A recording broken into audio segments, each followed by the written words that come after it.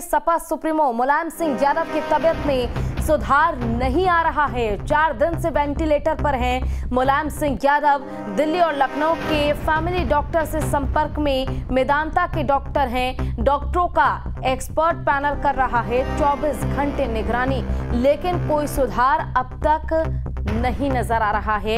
आपको बता दें कि मुलायम सिंह यादव, उनकी तबीयत खराब है, इसलिए उन्हें गुड़गांव के मैदानता अस्पताल में भर्ती कराया गया है, जहाँ डॉक्टरों की निगरानी में वो लगातार हैं, लेकिन बावजूद इसके चार दिन से वेंटिलेटर पर रखे गए मुलायम सिंह यादव की स्थिति में कोई सुधार नहीं देखा जा रहा है।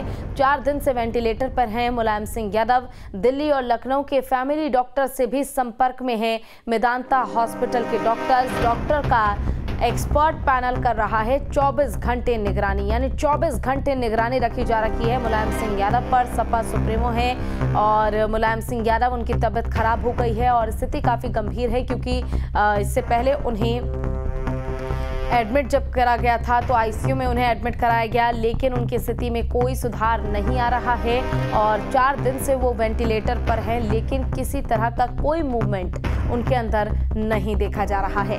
हालाँकि आपको बता दें कि फ़िलहाल सभी ये प्रार्थना कर रहे हैं, खासकर सपा कार्यकर्ता, नेता, मंत्री, सभी प्रार्थना कर रहे हैं उनके जल्द स्वस्थ होने की, उनके ठीक हो जाने की, लेकिन स्थिति में सुधार ना होना ये अभी बेहतर संकेत नहीं है। लेकिन उम्मीद की जा रही है कि जल्द से जल्द वो ठीक हो जाएँगे। हालाँकि आपको ये भी बता दें कि देश के प्रधानमंत्री नरेंद्र मोदी ने भी फ़ोन करके अखिलेश यादव से उनके पिता मुलायम सिंह यादव की हालचाल जाना था और राहुल गांधी, प्रियंका गांधी भी लगातार प्रार्थना कर रहे हैं कि मुलायम सिंह यादव जल्दी ही स्वस्थ हो जाए, ठीक हो जाए। लेकिन चार दिन से स्थिति में कोई सुधार नहीं है। ज़्यादा जानकारी के लिए हमारे साथ हमारे संवाददाता संजय खन्ना जुड़ गए हैं। संजय, फ़िलहाल चार दिन से वेंटिलेटर पर है, लेकिन किसी तरह का कोई मूवमेंट नहीं, किसी तरह का कोई सुधार नज़र नहीं आ रहा है मुलायम सिंह यादव की स्थिति में। क्या अपडेट्स आपके पास? देखिए, बिल्कुल बता दूँ कि पिछले चार दिनों से वेंटिलेटर पर है मुलायम सिंह यादव। डॉक्टरों की निगरानी में चल रहा है इलाज उनका। डॉक्टर पूरी नज़र बनाए हुए हैं। हालाँकि अभी तक हालत में कोई सुधार नहीं हुआ है। और यहाँ तक कि जो मेडिसिटी हॉस्पिटल है।